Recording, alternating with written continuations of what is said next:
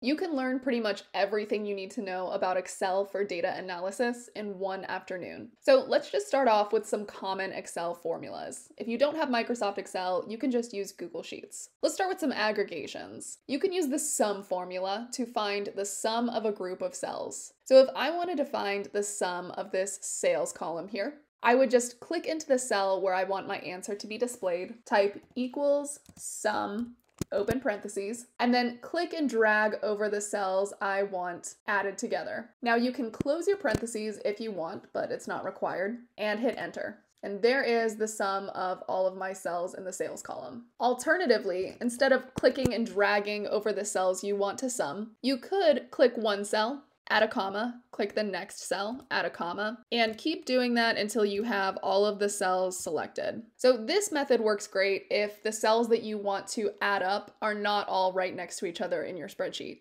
Another way to select all of your cells is to actually just select the entire column of data that you want to sum. You need to be a bit careful with this method because if you add data anywhere in this column that you have summed, your sum calculation will change to include that data. So this method is great if you wanted to keep adding entries. For example, if I wanted to add a new entry with an order ID 1011 and a quantity of 2, you'll notice that my sum formula automatically updated to include this new data that I added. Most other aggregate formulas work the exact same way. I can type equals average open parentheses, and that will allow me to find the average of the cells that I select. I can type equals median open parentheses, and that will allow me to use the median function. Pretty much every kind of aggregation that you can think of, there is an Excel formula for it. It's helpful to have the most common formulas memorized to save yourself some time, but if you ever get stuck, you can always just head to Microsoft's support website.